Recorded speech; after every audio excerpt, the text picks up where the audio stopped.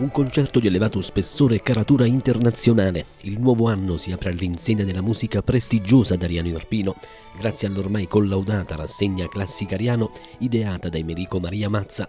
E l'orchestra da Camera di Stato del Kazakistan con al pianoforte il giovane arianese Antonio Gomena ad incantare il folto pubblico di Palazzo Forte.